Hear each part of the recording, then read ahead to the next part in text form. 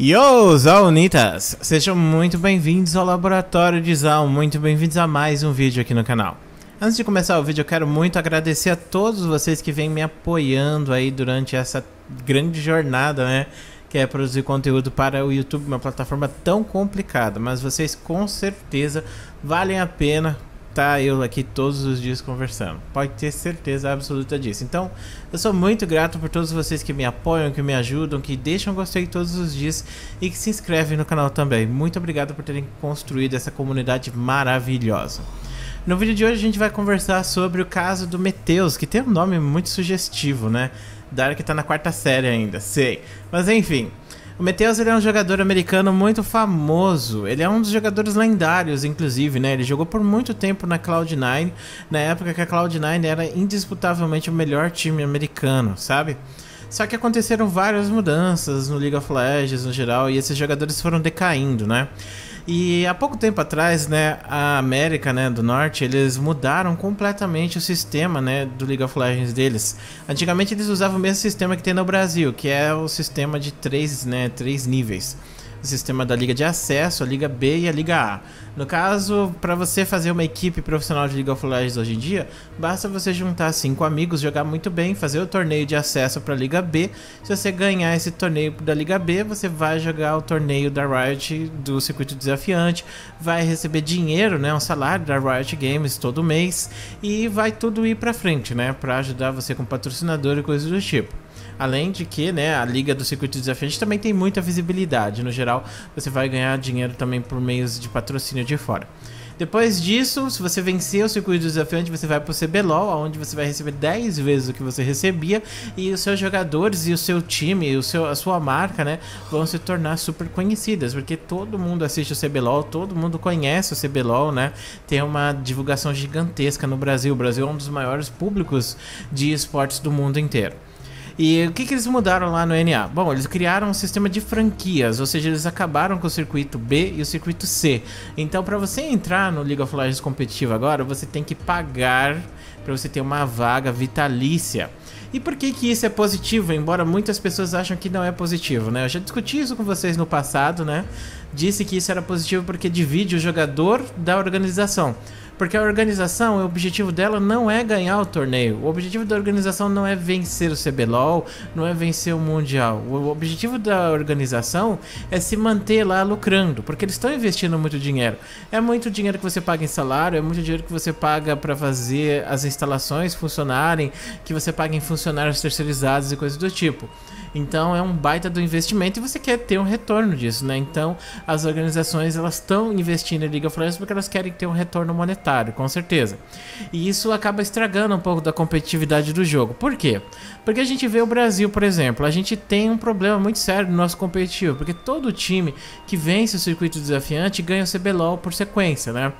Ano passado a Team One ganhou o circuito desafiante, depois ganhou o CBLOL. Esse ano a gente teve uma equipe que saiu do circuito desafiante, que foi a nova Kabum, e eles ganharam o CBLOL. E agora a gente tem a Ilha da Macacada que está indo muito bem e eles vieram do circuito desafiante. Obviamente, né, pode ser que esse ano seja do Flamengo, da CNB ou de outras equipes, mas a Ilha da Macacada está se dando muito bem. E quem sabe eles não vencem, né, para não quebrar essa regra de sempre ser um time do circuito desafiante vencer o CBLOL, né?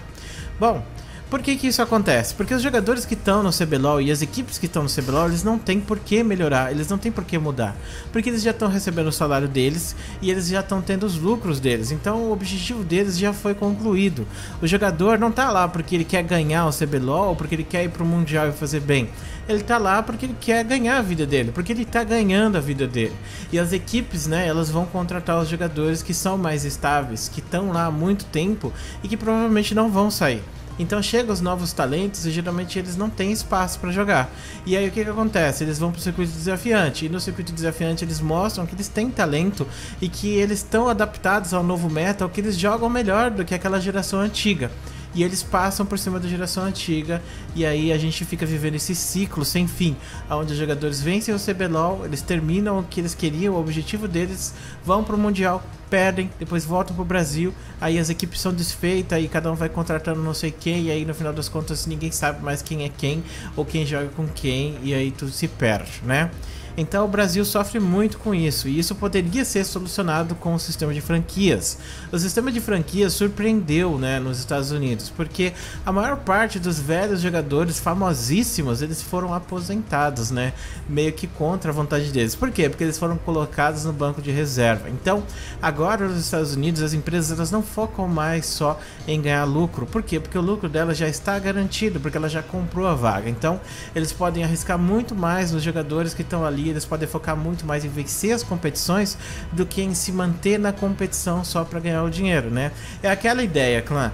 Em vez de você ter que arriscar muito e arriscar perder tudo, por que não fazer o mínimo possível para continuar e vai mexendo aqui ou ali só para você continuar ganhando o seu dinheiro no final do mês? É isso que os jogadores pensam e é isso que as organizações pensam. E esse é justamente o problema do competitivo do Brasil. Quando você pega o Counter-Strike, o Dota 2 e também o Rainbow Six, né? Você vê que o Brasil é um país extremamente competitivo internacionalmente. O Brasil é considerado uma das potências do esportes, não só nesses jogos, mas também em jogos individuais como Hearthstone e também StarCraft, pasme. O brasileiro ele é muito bem visto em jogos online, mas o League of Legends ele não é. Por quê? Porque o jogador de Counter-Strike, o jogador de Rainbow Six, ele não tá jogando lá simplesmente para ganhar a vida dele. Ele tá jogando lá porque ele quer ser o melhor, porque ele tem o objetivo de ser um competidor internacional, porque ele sabe que ele precisa buscar isso. É por isso que ele joga aqui para ir embora, porque ele sabe que o Brasil, ele não tem como investir nele o suficiente para ele conseguir tornar o sonho dele realidade. E é justamente isso que acontece no LoL, né? O LoL ele investe o suficiente. O LoL, ele tem uma, tipo, League of Legends no Brasil é gigantesco, sabe? Se você comparar a cena do League of Legends com a do Counter-Strike, League of Legends é 100 ou 200 vezes maior.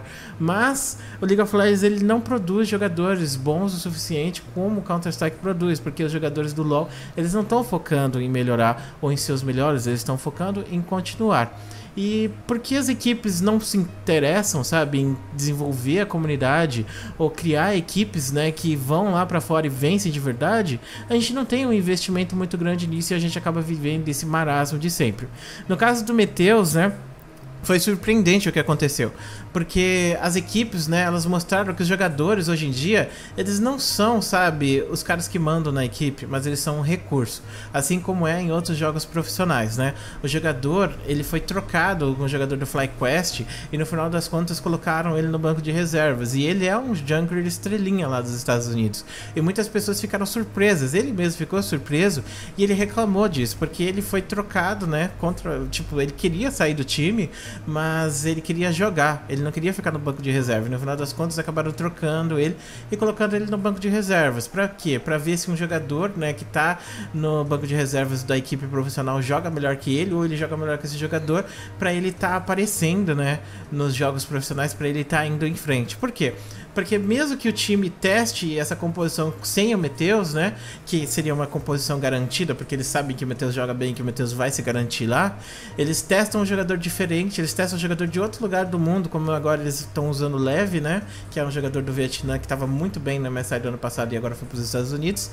E esse jogador vai ter o espaço para estar tá jogando numa das ligas mais competitivas do mundo, né? E também que mais investe em dinheiro para os jogadores para estar tá mostrando o jogo dele. Enquanto um jogador que era famoso, né, ele não vai estar tá sendo jogado justamente porque eles querem ver os novos talentos funcionar, eles querem ver novas equipes aparecendo, eles querem ver a, a competitividade florescendo.